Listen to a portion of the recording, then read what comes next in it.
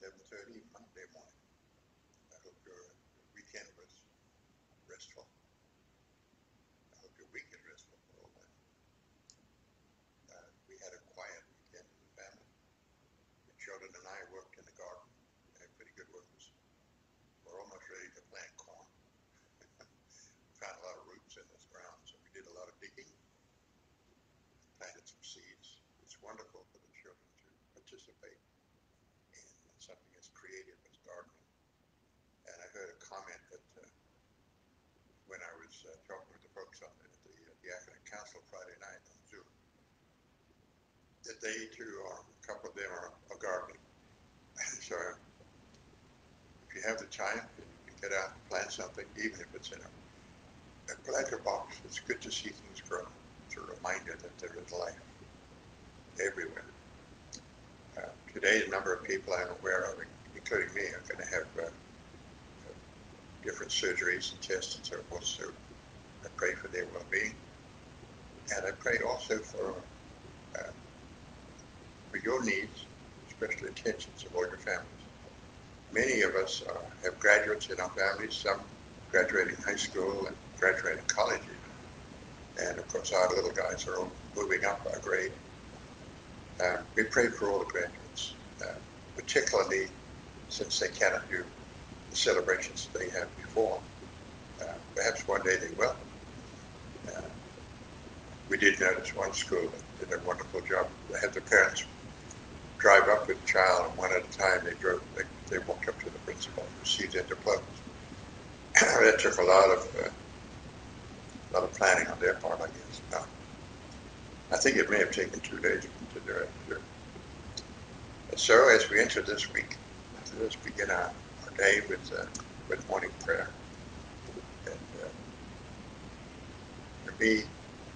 aware that we are always in the presence of God. Lord, open my lips and my mouth will proclaim your praise. Let us approach him with praise and thanksgiving and give sing joyful songs to the Lord. The Lord is God, the mighty God, the great King over all the gods. He holds in his hands the depths of the earth and the highest mountains as well. He made the sea, belongs to him. The dry land too, for it was formed by his hand. Come then, let us bow down and worship, bending the knee before the Lord our Maker. For he is our God, and we are his people, the flock he shepherds. Today, listen to the voice of the Lord. Do not grow stubborn as your fathers did when at Meribah and Massah they challenged me and provoked me, although they had seen all of my works. Forty years I endured their generation. I said, They are a people whose hearts go astray, and they do not know my ways. So I swore in my anger, They shall not enter into my rest. Glory to the Father, and to the Son, and to the Holy Spirit, as it was in the beginning, is now, and will be forever. Amen. The Lord is risen. Hallelujah. Psalm 42. Longing for the Lord's presence. As the deer longs for flowing streams, so my soul longs for you, my God. Hallelujah. All who thirst, come. Let all who desire it drink from life-giving water. Like a deer that yearns for running streams, so my soul is yearning for you, my God. My soul is thirsting for God, the God of my life. When can I enter and see the face of God? My tears have become my bread, by night, by day. As I hear it said all the day long, Where is your God? These things will I remember as I pour out my soul. How I would lead the rejoicing crowd into the house of God amid cries of gladness and thanksgiving, the throng wild with joy. Why you cast down my soul? Why groan within me? Hope in God. I will praise him still. My Savior and my God. My soul is cast down within me as I think of you. From the country of Jordan and Mount Hermon, from the hill of Mizar, deep is calling on deep. In the roar of the waters, your torrents and your waves swept over me. By day the Lord will send his loving kindness. By night I will sing to him, praise the God of. I will say to God, my rock, why have you forgotten me? Why do I go mourning, oppressed by the foe? With cries that pierce me to the heart, my enemies revile me, saying to me all the day long, Where is your God? Why you cast down my soul? Why groan within me? Hope in God. I will praise him still, my Savior and my God. Glory to the Father, and to the Son, and to the Holy Spirit, as it was in the beginning, is now, and will be forever. Amen. Let us pray. Father in heaven, when your strength takes possession of us, we no longer say, Why are you cast down, my soul? So now that the surging waves of your indignation have passed over us, let us feel the healing calm of your forgiveness. Inspire us to yearn for you always, like the deer from running streams, until you satisfy every longing in heaven. As the deer longs for running streams, so my soul longs for you, my God. Alleluia. Fill Zion with your praises, Lord, and let your wonders be proclaimed. Alleluia.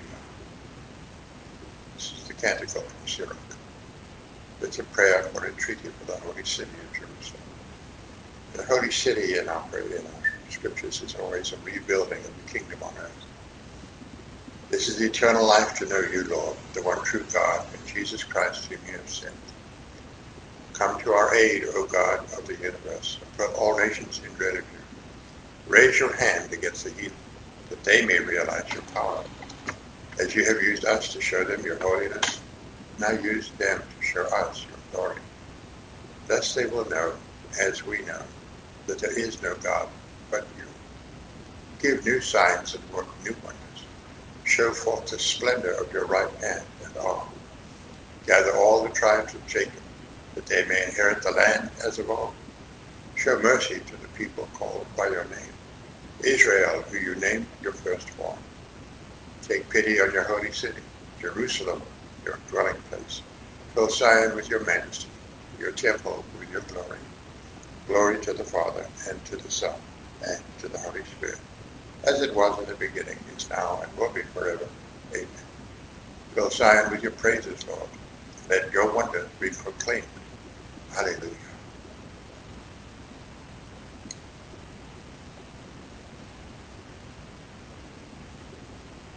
Psalm 19, praise of the Lord, creator of everything. The glory of God illumines the city. The Lamb of God is its light. Hallelujah. The dawn from an high shall break upon us to guide our feet into the way of peace. The heavens proclaim the glory of God, and the firmament shows forth the work of his hands. Day unto day takes up the story, but night unto night makes known the message. No speech, no word, no voice is heard. Yet their span extends through all the earth, their words to the utmost bounds of the world. There he has placed a tent for the sun. It comes forth like a bridegroom coming from his tent, rejoices like a champion to run its course. At the end of the sky is the rising of the sun. At the farthest end of the sky is its course. There is nothing concealed by, from its burning heat. Glory to the Father, and to the Son, and to the Holy Spirit, as it was in the beginning, is now, and will be forever. Amen. Let us pray. To enlighten the world, Father, you sent us your word as the sun of truth and justice, shining upon humanity. Illumine our hearts and our eyes, that we may discern your glory in the many works of your hand. The glory of God illumines the city. The Lamb of God is its light. Hallelujah. A reading from Romans. The word is near you, on your lips and in your heart. That is the word of faith which we preach. For if you confess with your lips that Jesus is Lord and believe in your heart that God raised him from the dead, you will be saved. Faith in the heart leads to justification. Confession on the lips to salvation. course, beginning of the Gospel of John, in the beginning was the Word, the Word was with God, and the Word was God. So whenever any of us share the Word, we're sharing God. We're sharing the Word of God. Our response, sorry. The Lord is risen from the tomb. Hallelujah. Hallelujah. The Lord is risen from the tomb. Hallelujah. Hallelujah. He hung upon the cross for us. Hallelujah. Hallelujah. Glory to the Father, and to the Son, and to the Holy Spirit. The Lord is risen from the tomb. Alleluia, alleluia. Our Gospel Canticle. By raising Jesus Christ from the dead, God has given us a new birth, a living hope in the promise of an inheritance that will last forever. Hallelujah. Canticle from Zechariah. Blessed be the Lord, the God of Israel, come to his people and set them free. He has raised up for us a mighty Savior, born of the house of his servant David. Through his holy prophets he promised of old that he would save us from our enemies, from the hands of all who hate us. He promised to show mercy to our fathers and to remember his holy covenant. This was the oath he swore to our father Abraham, to set us free from the hands of our enemies, free to worship him without fear, holy and righteous in his sight, all the days of our life. You, my child, shall be called the prophet of the Most High, for you will go before the Lord to prepare his way, to give his people knowledge of salvation by the forgiveness of their sins. In the tender compassion of our God, the dawn from an eye shall break upon us, to shine on those who dwell in darkness and the shadow of death, and to guide our feet into the way of peace. Glory to the Father, and to the Son, and to the Holy Spirit, as it was in the beginning, is now, and will be forever. Amen. By raising Jesus Christ from the dead, God has given us a new birth to a living hope and the promise of an inheritance that will last forever. Hallelujah. Our prayers of intercession. God the Father was glorified in the death and resurrection of his Son. Let us pray to him with confidence, saying, Lord, enlighten our minds. Father of lights, you bathed the world in splendor when Christ rose again in glory. Fill our minds with the light of faith. Lord, enlighten our minds. Through the resurrection of your Son, you opened for us the way to eternal life. As we work today, sustain us with the hope of glory. Lord, enlighten our minds. Through your risen Son, you sent the Holy Spirit into the world to set our hearts on fire with spiritual love. Lord, enlighten our minds. May Jesus Christ, who was crucified to set us free, be today our salvation and redemption. Lord, enlighten our minds. And for all our graduates, from college and high school, from whatever school and classes you may be graduating and moving on, congratulations to each one of you. May your, your lives be filled with promise. And may you strive to achieve that promise, no matter what it takes. Lord, enlighten our minds. Together, let us pray in the words that are said our Father, who art in heaven, hallowed be thy name.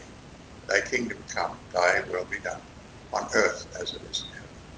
Give us this day our daily bread, and forgive us our trespasses, as we forgive those who trespass against us. And lead us not into temptation, but deliver us from evil. Amen. Let us pray. God of mercy, may our celebration of your Son's resurrection help us to experience its effect in our lives. We ask this through our Lord Jesus Christ, your Son, who lives and reigns with you in the Holy Spirit, one God, forever and ever. Amen. Uh, final uh, announcement or reminder, uh, a week from today is Memorial Day, and uh, one of our Episcopal vicars, uh, Father Romy Slixion, uh, he'll be celebrating Memorial Mass at St. Paul the Apostle, the special Memorial Day Mass. It'll be at 9 a.m. and it'll be on, on YouTube, no, YouTube. So you just check into the diocesan website, click on YouTube. And uh, I noticed Father Duong shared mass with the bishop yesterday with many other folks. It was more than 800 uh, logged in. And obviously there's more than one person in many of those uh, logins. So well over a thousand people at mass on Sunday and masses throughout our diocese. And so we are adapting. We're finding new ways to bring meaning, uh, to celebrate our faith, and to share it, new ways to communicate. And so, may God bless you this, this week. Whatever interactions you have, maybe they be in a source of, of hope and of love. And please take care of yourself. There are many who want to disregard all the, all of the protocols. Let us not do that. Let us not be a source of problems, uh, of a new wave, as they say, of this virus. So my Almighty God bless you today, the Father, the Son, and the Holy Spirit.